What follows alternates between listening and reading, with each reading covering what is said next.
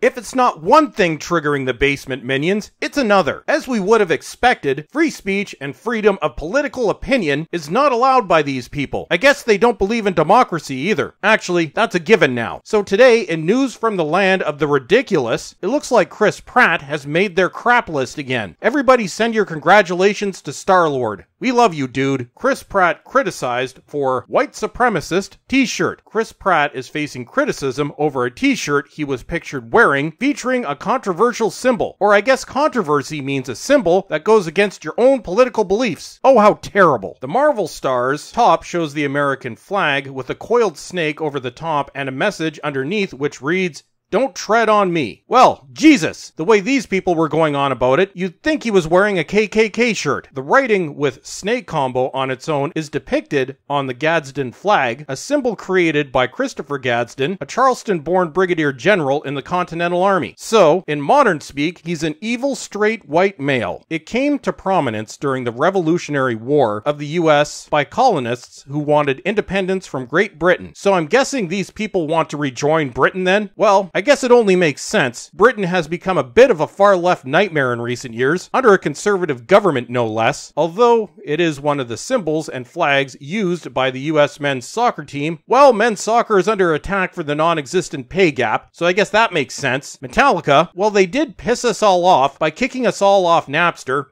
and then followed that up with Saint Anger, as well as some libertarian groups. An evil concept to these people. Over the years, the flag has been adopted by far right political groups like the Tea Party. You mean people that don't want their taxes wasted on special interest groups and other crap that only benefits a small minority of society, as well as gun toting supporters of the Second Amendment. Just because you don't agree with it doesn't mean it's not constitutional. It has therefore become a symbol of more conservative or people with common sense and far right individuals. And according to the Equal Employment Opportunity Commission of the US, oh yes, you mean that parasitic group whose sole purpose in life is to make sure white males can't get jobs, blacklisting people for wrongthink while supporting something that outright promotes discrimination. And you people wonder why you are so disliked. It also is sometimes interpreted to convey racially tinged messages in some contexts. So say some without providing actual examples. It's why some people are critical of Pratt wearing a t shirt featuring the Gadsden flag iconography. These people are critical of anything that doesn't support their own warped, in my opinion, beliefs. And sometimes even people that support their beliefs, if they happen to step out of line. Many have posted their feelings about it on Twitter. I'm sure they have, and here's a sampling provided to us by Yahoo News. Amanda Clark tweets Andy Dwyer would never wear a shirt emblazoned with a white supremacist dog whistle. Chris Pratt is unequivocally the worst Chris. Apparently, you don't know what white supremacist actually is. And also, Andy Dwyer isn't real. Tim Barnes writes, I like him, but all these small things about his politics makes me wonder when he'll say something transphobic, tank his career, and do the full heel turn into a Fox commentator. I see. So anybody that says or wears something you disagree with is transphobic. Why do you people always go there?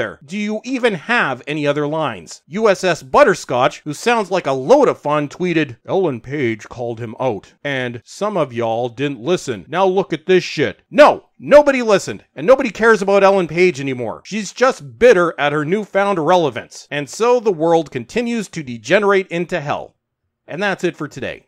Don't forget to subscribe, and make sure you're still subscribed because YouTube is deleting subscribers, and follow me on Twitter. And as always, everyone, Thank you for watching and have a great day.